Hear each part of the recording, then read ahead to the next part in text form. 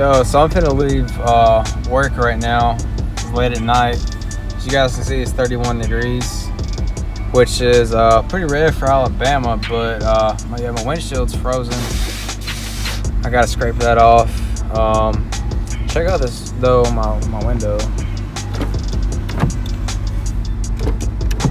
It's uh, it's frozen shut somehow. The other one rolled down, but uh, yeah, this, this is gonna be fun. Yeah, you guys can see it's like all uh, sparkly and icy.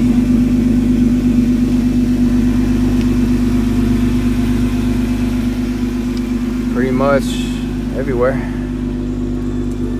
Top, all that good stuff.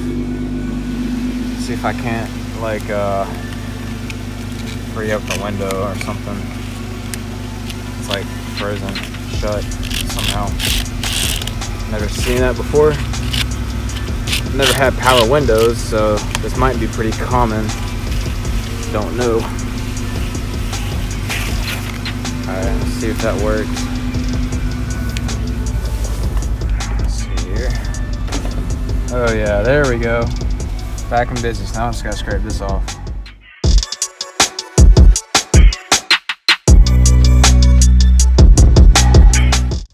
Alright, so a little update here on the JKU.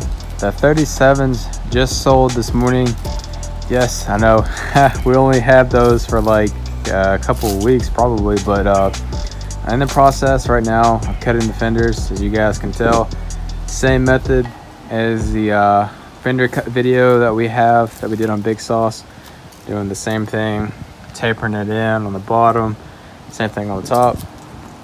Four inch flare. Gonna be doing the same thing on the rear too.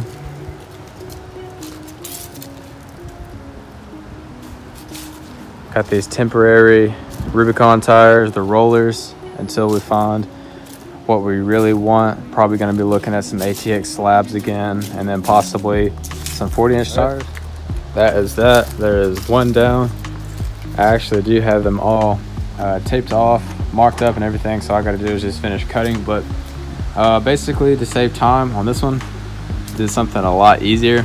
I just went ahead and took all the bolts out, unplugged the electrical, and just cut the fender how it was, and then pretty much just ripped it off. So I'm gonna peel this back a little bit to make sure I could get this cut all the way without hitting the panel. But yeah, that saves a lot of time. I wish I could go back and do that on the tutorial, but that was just something to kind of share with you guys there. Looks kind of cool with no inner fender.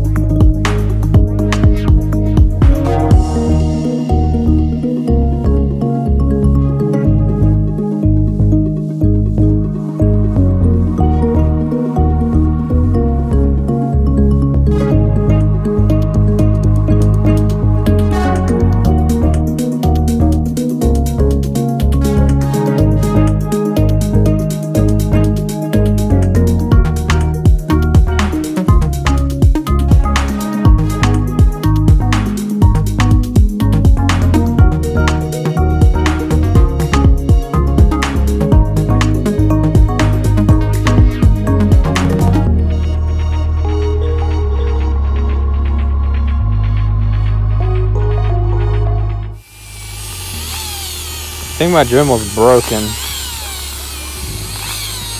You guys, you hear that?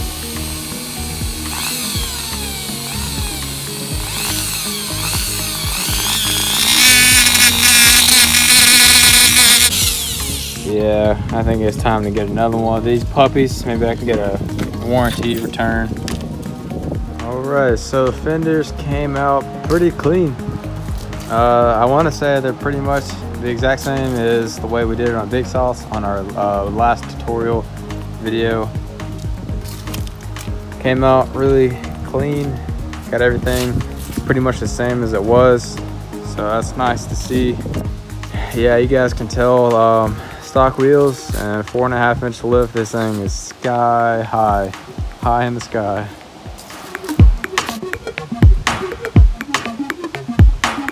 We do still have stock control arms. Um, there actually are a lot of people, believe it or not, um, on Instagram that do have stock control arms with 40 inch tires.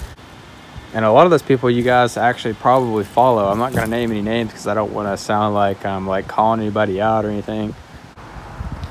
But uh, yeah, hopefully within the next month or so, we'll be getting some rock crawler control arms to kind of make everything sit nicely. You guys already know we're uh, filling up the old farm truck because we are about to pick up Big Sauce's old 40 inch tires with slabs from Big Sauce. So pretty cool.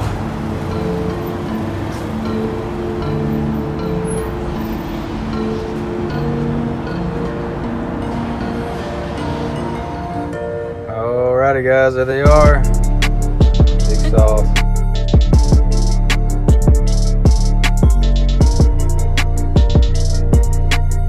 Check them out, boys. Alright, back to the house.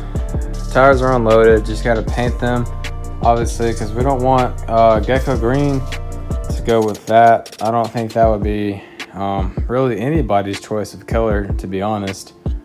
But uh, anyways, besides that, Jeep is in the garage. We got it all set up here. Gonna pretty much just try to paint those really quick and then slap them on because it's already lifted. It's got the wheel spacers on and everything. Pretty much already ready to go.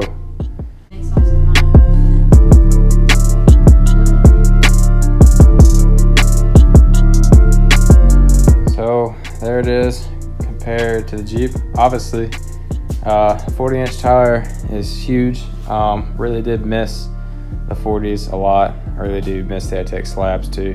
Favorite setup.